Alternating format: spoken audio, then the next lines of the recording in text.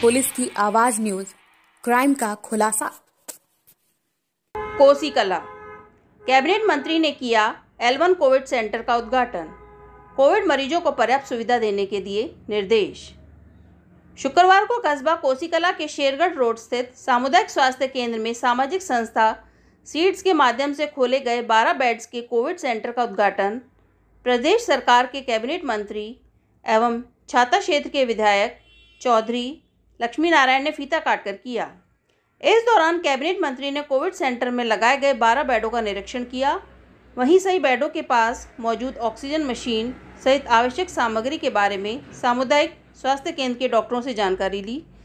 वहीं सभी डॉक्टरों और कोविड मरीजों की देखरेख में मौजूद स्टाफ सहित नगर पालिका कोसी कला के पालिका अध्यक्ष नरेंद्र कुमार से सभी व्यवस्थाओं को दुरुस्त रखने के निर्देश दिए। क्या कहेंगे इस पर ये कोविड नाइन्टीन विश्वव्यापी महामारी है। और इस विश्वव्यापी महामारी में एक ऐसा अजीब समय आया है, जिसने ये सिद्ध कर दिया है कि पावर और पैसे का कोई महत्व नहीं है। ऐसी महामारी में हमारे आदरणीय प्रधानमंत्री जी और उत्तर प्रदेश के मुख्यमंत्री आदरणीय योगी जी ने बड़े साहस के साथ देश और प्रदेश इस महामारी से बचाने के लिए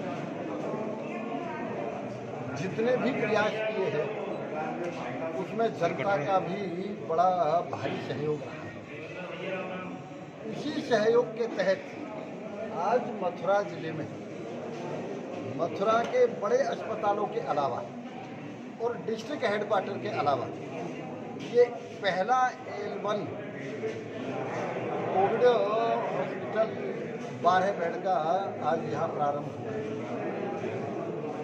इसके लिए हमारे समाज सेवियों ने सीड प्रोडक्शन कंपनी ने डॉक्टर परमार साहब ने और इनके समस्त सहयोगी इसमें पूरा सहयोग करके यहाँ ये स्थापित किया मैं उनको अपने छात्र क्षेत्र की जनता की ओर से हार्दिक बधाई देता हूँ और उन्हें बहुत बहुत धन्यवाद देता हूँ। हमारे शहर के चेयरमैन ने भी पूरा भरोसा दिया है कि वो सफ़ाई का पूरा प्रबंध और पूरा सहयोग करें।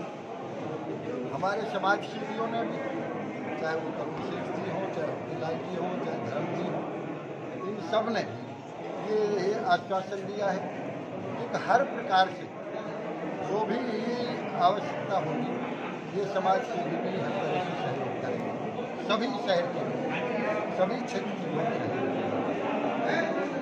इस वक्त पे जो पहला दौर आया था उसमें भी क्षेत्र की जनता ने जूते भी ही बांटे थे चप्पल भी बांटी कपड़े भी बांटे और कोई भी लाखों व्यक्ति आए, कोई भी भूखा नहीं रहे इस दूसरी लहर में भी यहाँ के जनता ने विशेष सहयोग किया है और बाहर से आके हमारी सीड कंपनी ने और डॉक्टर साहब ने परमार साहब ने लोगों को सहयोग किया है।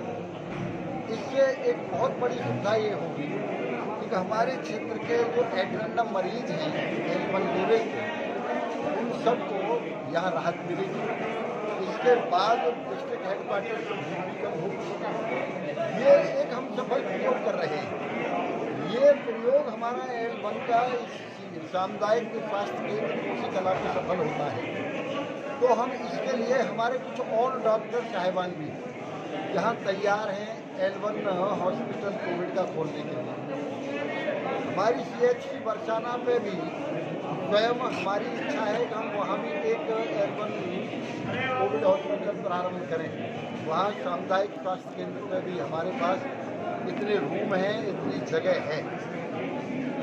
मुझे पूरा भरोसा है एक, एक समाज सेवियों के द्वारा और इस डॉक्टर परमार और यहाँ के जो डॉक्टर हैं डॉक्टर वीरेंद्र हों, डॉक्टर देवेंद्र हों, इनके समस्त साथी। और इनका जो नर्सिंग स्टाफ है, ये भी पूरा सहयोग करके इस कार्यक्रम को L one hospital nineteen covid का ज़रूर सफल बनाएँ। और मेरी शुभकामनाएँ हैं। मैं ईश्वर से प्रार्थना करता हूँ कि जिस उद्देश्य ये L one covid nineteen hospital की स्थापना हुई है, ये अपने मिशन में पूरी तरह से सफल हो कोसी कला सी पर पानी की और बिजली की बहुत ज़्यादा दिक्कत है, जहाँ व्यवस्था नहीं है, पिछले कई वर्षों से। कोसी कला सी एच सी पे जो सी एच सी की सुविधाएँ होनी चाहिए, वो उपलब्ध नहीं थी इसके लिए हमने अभी एक करोड़ रुपया ऑक्सीजन प्लांट के लिए दिया है। अभी हमने यहाँ वाटर कूलर के लिए पैसा दे दिया है। यहाँ हमने आरओ प्लांट के लिए पैसा दे दिया है। हमारे समाज सेवी धर्म ने भी यहाँ शायद पेयजल के लिए है। तो ये सारी चीज़ें जितनी भी सी एच सी के लिए मैं सी एच सी नहीं अपर सी एच सी की बात कर रहा हूँ। जो भी चीज़ की यहाँ आवश्यकता होगी, मैंने डॉक्टरों से कहा है कि यदि वो वेंटिलेटर भी मैनेज कर सकें उसको यदि चला सकें तो मैं यहाँ एक नहीं, दो चार वेंटिलेटर भी उपलब्ध करा सकता हूँ। ये लेकिन ये एक हमारा कोविड 19 एल वन का पहले प्रयोग सफल हो जाए, इसके बाद हम इन चीज़ों पर आगे बढ़ेंगे। पत्रकारों के